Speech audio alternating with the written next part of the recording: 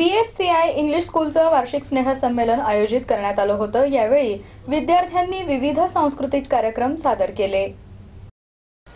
Doctor Jafar educational आणि agro research फाउंडेशनचे chairman Shaikh Shaker यांच्या अध्यक्षतेखाली आयोजित या कार्यक्रमात महाराष्ट्र वक्फ मंडळाचे अध्यक्ष एम एम शेख नगरसेवक अयूब खान माजी नगरसेविका मोहसिना बिल्खीस बीएफसीआय आणि मेमन उर्दू हायस्कूलच्या मुख्याध्यापिका फरीदा शाकेर यांची प्रामुख्याने उपस्थिती होती. मान्यवरांच्या हस्ते शाळेतील विद्यार्थ्यांना पारितोषिक देण्यात आली. नंतर विद्यार्थ्यांनी सांस्कृतिक कार्यक्रमही सादर केले. जितने भी यहाँ औरंगाबाद में है वो बोर्ड का चेयरमैन होने के नाते मैं ये चाहूँगा कि जितने भी स्कूल वाले इंस्टीट्यूट वाले अगर आगे आए प्रॉपर्टी हमारी महाराष्ट्र में हज़ार एकड़ है और उसमें हम चाहते हैं इसका ज़्यादा से ज़्यादा इस्तेमाल तालीम के लिए हो एजुकेशन के लिए हो स्कूल के लिए हो कॉलेजेस के लिए हो, और हम ये चाहते हैं कि हमारा वर्क बोर्ड एक डीम यूनिवर्सिटी फॉर्म करे, और ये डीम यूनिवर्सिटी के अंदर में मेडिकल कॉलेज इंजीनियरिंग कॉलेज अच्छे से अच्छे स्कूल अच्छे कॉलेजेस खुलने का हमारा तो इरादा है। मीडिया जमहूरियत का चौथा सुकून कहलाया जाता है, और हम लोग वही बताते हैं जो समाज को हमारी कैमरे की आँखें या हमारी मीडिया वालों की आँखें देखती हैं।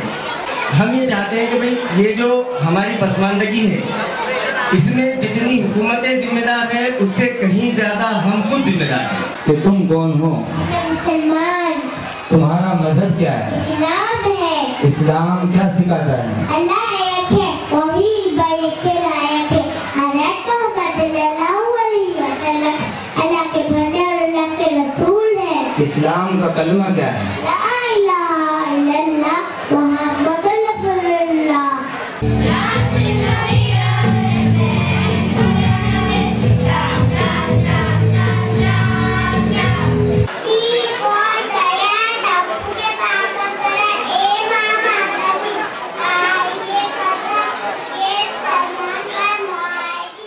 तसंच बुराणी नॅशनल इंग्लिश स्कूलचा अॅन्युअल स्पोर्ट्स डे आज नवल टाटा स्टेडियम येथे आयोजित करण्यात आला होता.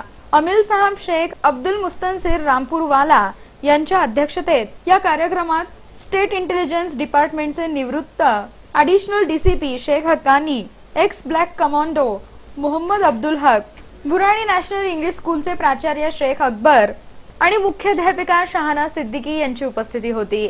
या प्रसंगी क्रीडा स्पर्धा घेण्यात आल्या आणि विजेत्यांना पारितोषिकं वाटप करण्यात आली सदरील कार्यक्रम यशस्वी करण्याकरता अब्दुल मन्ना शेख समीर सहिरा बेगम आणि इतर शिक्षकांनी परिश्रम घेतले